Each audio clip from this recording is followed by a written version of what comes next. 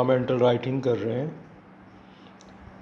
इसलिए हम स्केल लेंगे और नॉर्वे शीट्स के लेफ़्ट साइड और राइट साइड पे जितनी स्केल की ब्रेथ है, उस हिसाब से लाइंस लगाएँगे। और ऐसे ही लाइंस जो हैं, नीचे वाली साइड पे जितनी स्केल की ब्रेथ है, उस हिसाब से लाइन लगाएँगे।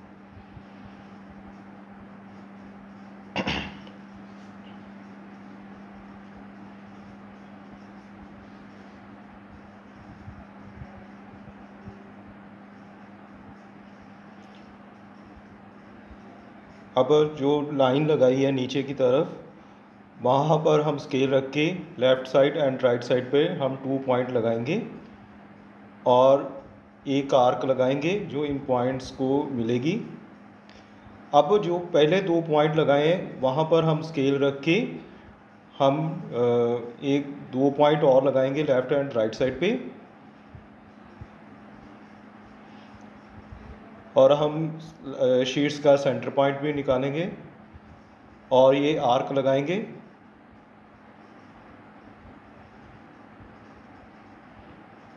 ये आर्क जो हम लगा रहे हैं तो उसमें जो डिस्टेंस है, वो हमारे स्केल की ब्रेथ के अनुसार है।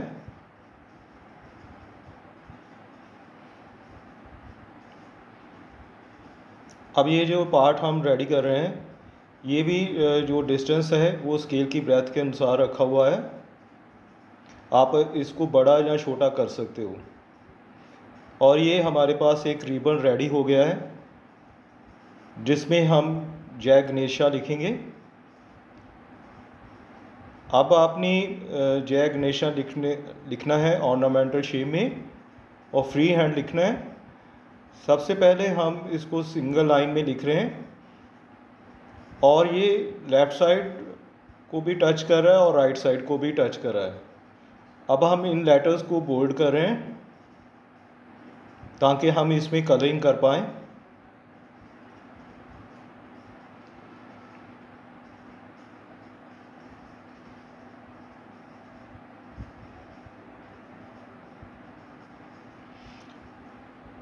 जय गणेशा का जे कैपिटल रखा हुआ है हमने और जी भी कैपिटल है। और जितने दूसरे लेटर्स हैं, वो सब स्मॉल में लेकर जा रहे हैं। ये राइटिंग आप पर डिपेंड करता है कि आपने अपनी राइटिंग को कैसे लिखना है ऑर्नामेंटल शेप में। बस इसी बात का ध्यान रहे कि जितनी स्पेस हमारी लेफ़्ट साइड पे है, उतनी ही स्पेस हमारी राइट साइड पे आए।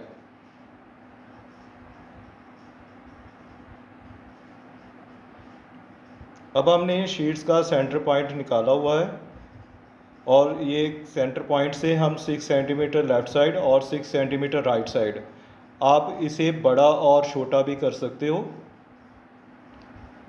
हम एक प्रोडस्टर रेडी कर रहे हैं जिस पे हम गणेशा जी की मूर्ति बनाएँगे।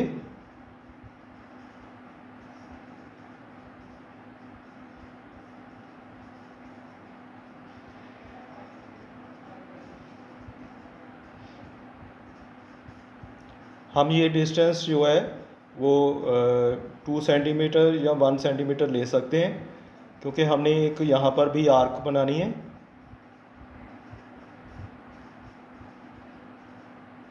और ये हमारा प्रोडस्टर रेडी हो जाएगा और इसके ऊपर हम गणेशा जी की ड्राइंग करेंगे। ये गणेशा जी को हमने नाचते हुए दिखाया है। आप इनको किसी भी रूप में दिखा सकते हो। जब हमारी ड्राइंग कंप्लीट हो जाए तो हम ब्लैक स्केच पेन या ब्लैक पेन से जो हमारा जेल पेन होता है, हम उनसे इसकी आउटलाइनिंग करेंगे। और जितनी भी ड्राइंग है, सबकी आउटलाइनिंग हो जाएगी। और जितनी भी एक्स्ट्रा लाइंस होंगी, हम उसको अच्छे से रेस कर देंगे।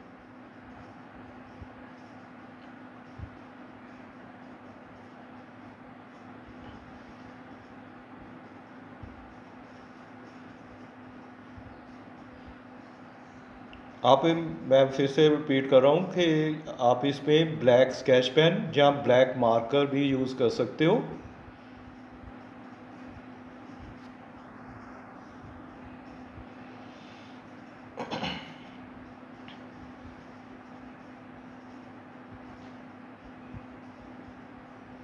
ऐसे ही हम जितने भी लेटर्स हैं, उनको भी ब्लैक पेन से या black sketch mark sketch pen से या ब्लैक मार्कर से इसकी आउटलाइनिंग कर देंगे।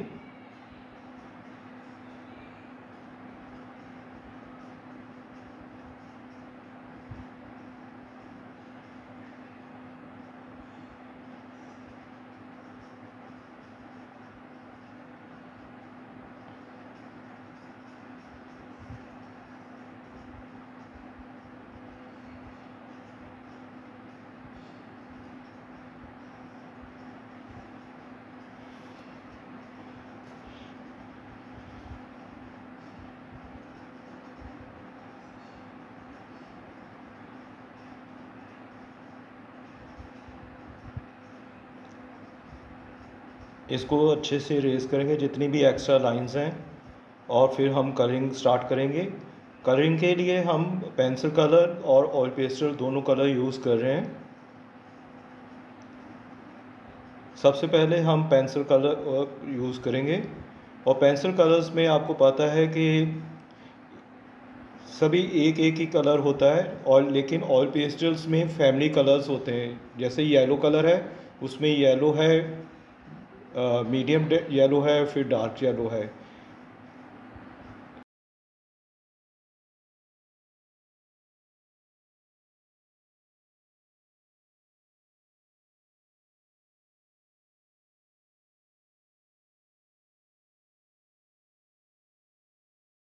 सबसे पहले अगर आप इसमें जो लेटर्स हैं, इनकी शेडो देना चाहें तो आप शेडो दे सकते हैं। अगर आप ऐसे छोड़ना चाहें तो ऐसे भी छोड़ सकते हैं। शेडो देने से क्या होगा कि ये हमारे लेटर्स जो है थ्री में आ जाएँगे।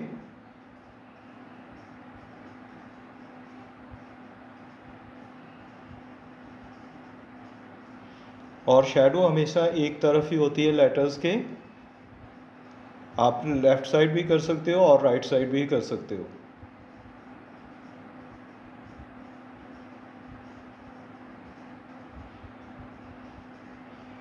अब मैं इस मूर्ति के पीछे बैकग्राउंड में एक ड्राइंग बनाना चाहता हूँ, इसलिए मैंने प्लेट का इस्तेमाल किया है सर्कल लगाने के लिए। आप पेंसिल कलर्स हम यूज़ कर रहे हैं। सबसे पहले हमने लेमन कलर यूज़ कर रहे हैं।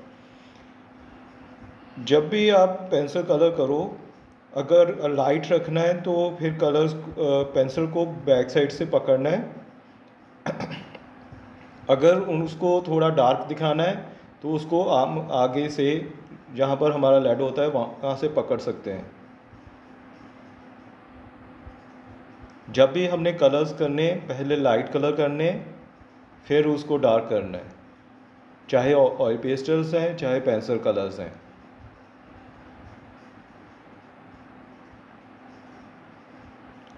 इसमें जो ऑयल पेस्टल कलर यूज़ हो रहे हैं, उनके नंबर्स आपको बता दिए जाएँगे। लेकिन पेंसिल कलर्स के कोई नंबर नहीं होते, उसमें सिर्फ़ सिंगल सिंगल कलर्स ही होते हैं। जैसे येलो रेड ब्राउन ब्लू लेकिन ऑयल ऑयल पेस्टल्स में जैसे पहले बताया कि फोर फाइव शेड्स होते हैं, एक ही कलर के।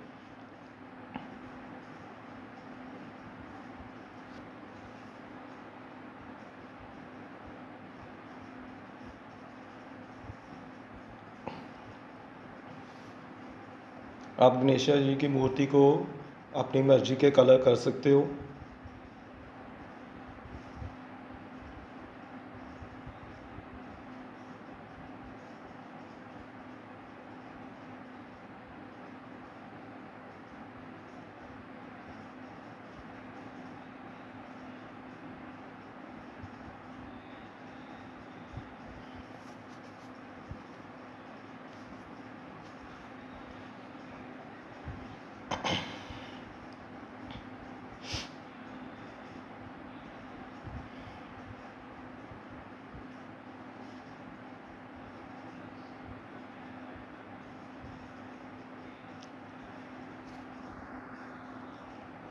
अब हम इन लेटर्स के बैकग्राउंड में कलर कर रहे हैं। हम यहाँ पर थोड़े से ब्लैक की शेडो दे रहे हैं, ताकि हमारे जो लेटर्स हैं, वो थ्री में आ जाएँ।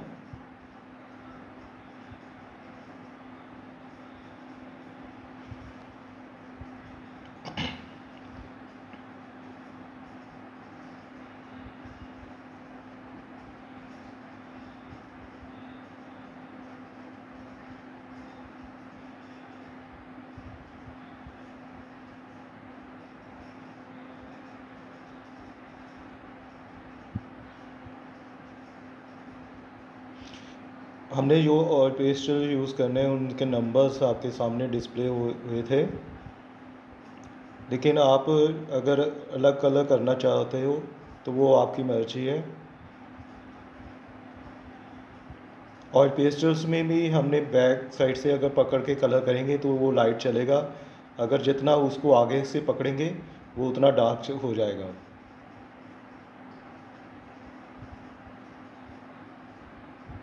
तो ऐसे हम धीरे धीरे स्टेप बाय स्टेप हम अपनी शीट को कंप्लीट करेंगे।